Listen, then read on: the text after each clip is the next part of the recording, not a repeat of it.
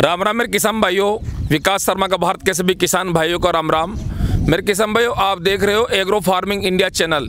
और ये चैनल भारत के सभी किसान भाइयों की आवाज़ का चैनल है। ये सत्य की आवाज़ का चैनल है मेरे किसान भाइयों।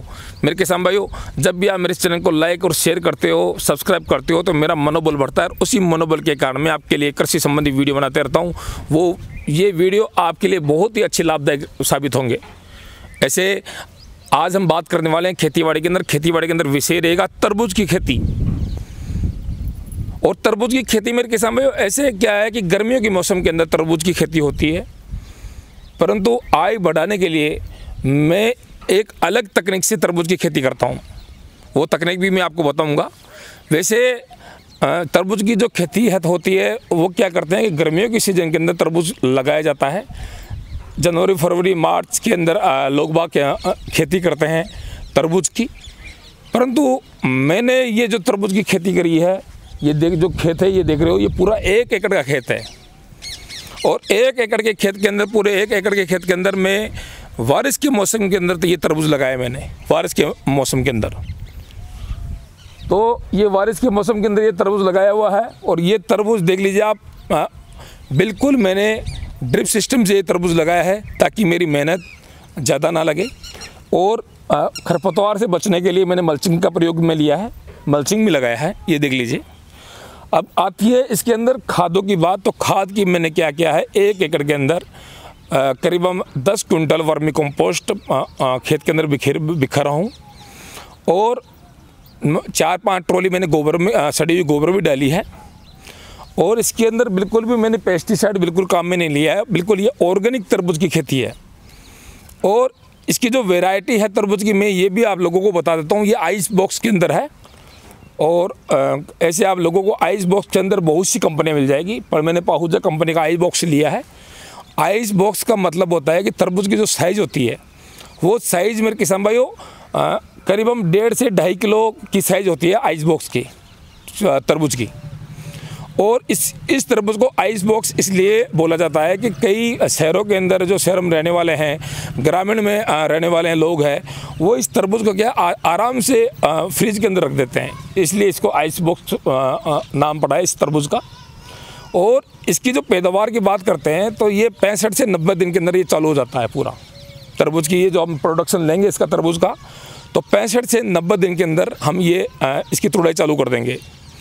तो ये बारिश के मौसम के अंदर मैंने ये सोच के लगाया है क्योंकि विपरीत मौसम के अंदर, अगर विपरीत मौसम के अंदर सही तरीके से अगर अपन कोई भी चीज़ या कोई भी सब्ज़ियाँ करते हैं तो उसका प्रॉफिट ज़्यादा मिलता है। तो ये जो लगाने का जो अभी जो अगस्त का महीना चल रहा है छः अगस्त का चल रहा है, और आज ये जो तरबूज की आप ये एक एकड़ में जो तरबूज देख रहे हो, ये एक महीने का ये हो गया। ये देख लीजिए आप, पूरा एक एकड़ है। और 6 जुलाई को मैंने ये लगाया था। 6 जुलाई 2020 को मैंने लगाया था और 6 अगस्त 2020 चल रहा है अभी। तो ये करीबन ये मेरा तरबूज की खेती है, पूरी एक महीने की है। ये देख लीजिए आप, एक महीने का है। और मेरा वादा है मेरे किसान भाइयों, ये तरबूज इस समय में मैंने लगाया है तो करीबम करीबम ये मान के चलो कि ये तरबूज ऐसे गर्मियों के सीज़न के अंदर जब तरबूज बेचा जाता है तो क्या होता है उसका भाव 10 से 15 रुपये किलो, आठ रुपये किलो मिलता है। परंतु मैं बारिश के मौसम के अंदर ये आराम से तुड़ाई करूँगा और अभी भी थोड़ा समय है तरबूज के अंदर। और जब ये मेरा माल बिकेगा तरबूज तो कम से कम नहीं तो ये आराम से तीस से चालीस रुपये किलो पच्चीस रुपये पच्चीस रुपये से कम नहीं आएगा। पच्चीस से चालीस रुपये के बीच के अंदर मैं इस तरबूज की आराम से ये तरबूज मैं बेचूँगा। और ये जो मौसम है बारिश का ऐसी बात नहीं है सूटेबल नहीं है। ये बहुत ही अच्छा सूटेबल मौसम है बिल्कुल भी। आप जो मैंने समय बताया है इस समय के अंदर आप तरबूज लगा के देखना आपको फ़ायदा होगा। और इस तकनीक से लगाते हुए मेरे को तीन आ, तीन साल हो गए और हर साल मैं बारिश के अंदर मैं तरबूज लगाता हूँ और मोटा मुनाफा लेता हूँ मेरे किसान भाइयों। इसी तौर पे जो इसमें कोई खर्चा नहीं है एक बार जो खा, आ, खाद होता है जो भी खाद आपके पास ऑर्गेनिक वो खेत में डाल दे उसके बाद के अंदर आप अच्छी जुताई करके मिट्टी की बेड बनाएँ और मिट्टी की बेड बना के ड्रिप की पाइप वगैरह बिछा दें और मल्चिंग लगाकर और ये आराम से आप तरबूज लगाए और बारिश के मौसम के अंदर आप मोटा मुनाफा कमाएँ। इसी तौर पे अभी भी बारिश भी चालू हो रही है। आपको ये देख लीजिए, मेरे चेहरे पे बारिश गिर रही है। तो इस समय भी बारिश चालू है। परंतु सिंचाई करने का झंझट खत्म। बारिश के मौसम में एक फ़ायदा और और रहेगा आपको। क्योंकि जो ड्रिप सिस्टम से चलाया जाता है तो वो ड्रिप चलाने की ज़रूरत नहीं है। नॉर्मल जो बारिश से ही इसकी सिंचाई हो जाती है। और कोई जैविक फर्टिलाइज़र हो तो जैविक फर्टिलाइज़र ड्रिप के माध्यम से आप चला सकते हो, आराम से।